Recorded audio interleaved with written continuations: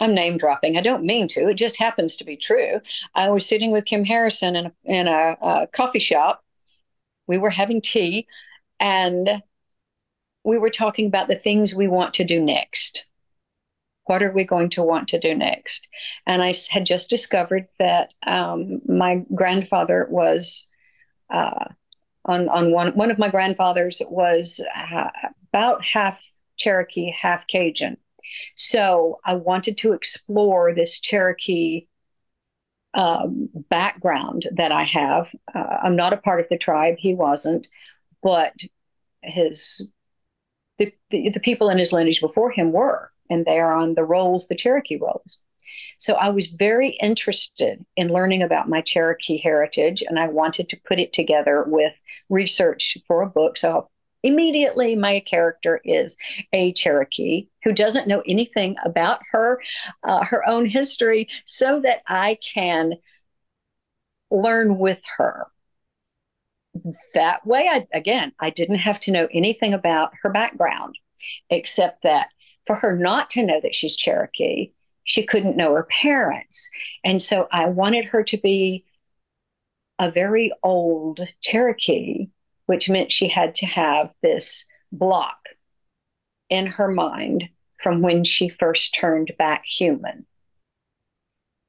The only thing I knew about her was that she was going to ride a Harley, what shotgun she was going to use to kill paranormal bad guys, and that she was um, sort of like Jack Reacher, and she went to help. She would go to help people, except my character got paid for the jobs. She took paying jobs to protect humans from vampires or werewolves or whatever. That's all I knew when I started out. And had to learn about Harleys. I had to learn about what I wanted her bike to be like and what she would need to do, what tools she would need on the road when she to take care of breakdowns because the cool thing about Harleys uh, back in the day was that you could fix them on the side of the road. And that was the purpose of them. That's why they were used so much in World War II. So the Harley history I had to learn about. She was a fabulous discovery for me because I didn't have any world history going in. She didn't know anything about where the vampires came from or what their origination story was. She didn't even know what she was, except that she had this puma creature. Let me point to the one behind me whose tail I'm sitting under. This puma creature living inside her with her, and that she could turn into this puma creature she wasn't a werecat because she could turn into other creatures, other mammals, and predominantly other predators. So I discovered her as I went along. The first book was a hard transition. This is Skinwalker, yeah. It was a really hard transition for my brain because I had come from woman in jeopardy jeopardy type stories and here I am writing a woman hunter. It is titled Rift in the Soul. It will be out the first week of March. Y'all go to your favorite bookstores and put it on on uh, pre-order it or pre-order it online. All of the lost items and all of the arc-en-ciels and all of the were creatures with which Nell is surrounded on Soulwood and in PsyLED, uh, which is the Psychometric Law Enforcement Division. All of those things come together. And the ending of the Jane book, the final Jane book, something happened to the vampires because those two have kind of been, those two series have been interwoven in terms of the backstory. The final thing that happened to the vampires and final air happens in the final book. And this, what I'm assuming, will be the final book of Nell, Rift in the Soul.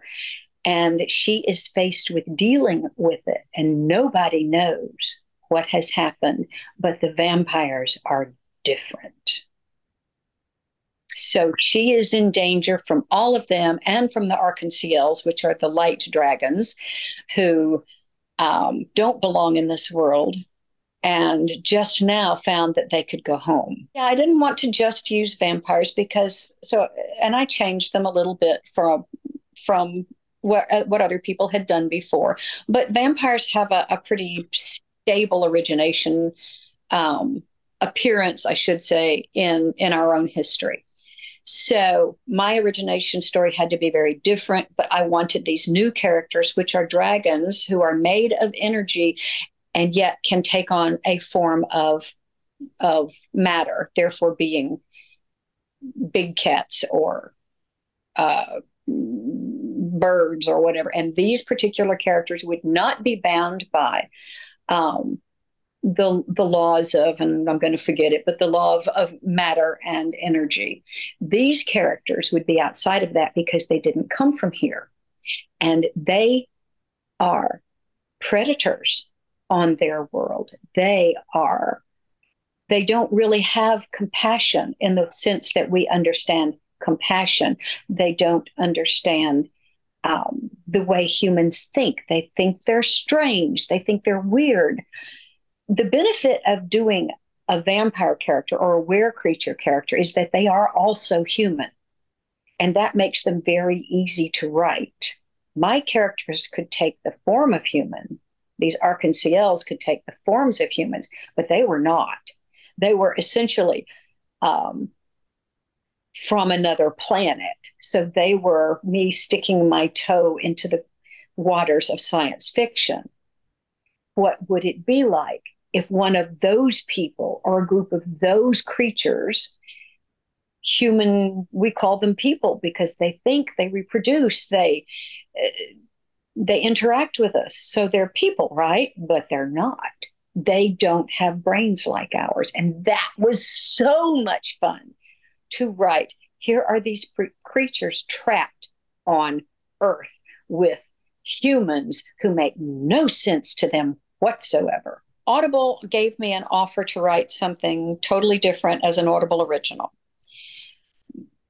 They they wanted to be the editor, they wanted to be the only ones having it.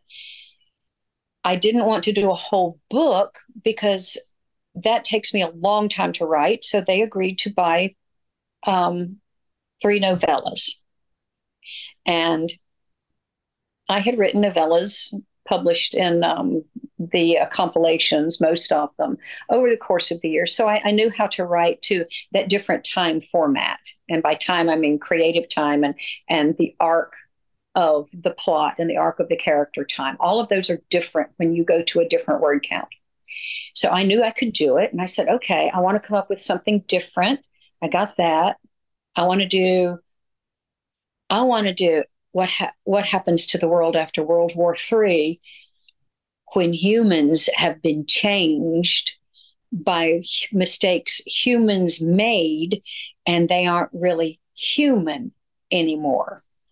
So I could still have my weirdness, which I like very much. And I have these characters who are altered by nanobots that were intended to only stay in a particular type of ant. And they instead figured out how to species jump. And here we are with people who are now being affected by the creation of the ants get people get bitten now they're changed so i think it's i think it's it worked out and it was so much fun. And now the cats are being affected by it. And my character didn't realize the cats were being affected by it. Now she does. So, starting out with um, the first Junkyard Cats was introducing to my character that she wasn't alone in the world, that there were, that she could accidentally transfer what she was to others and going through that backstory. And then, oh dear, she has now transferred this nanobot change that works on the genetic level to the cats. What does that mean and how does that change her life? So it's a it's a futuristic world. It my character lives in a junkyard. She has access to a crashed USS United States spaceship uh, crashed on her property, so she has access to top notch tech, but she can't tell anybody because the government would come take it away. She also has an alien ship with a dead alien in it on her property who were involved in a battle at the end of the war. So here's my weird character.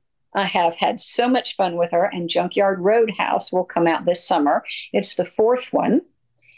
Uh, it is not an Audible original. So the audio and the print and the uh, ebooks will all come out at the same time. And I'm very excited about that. And I think it's going to be June or July.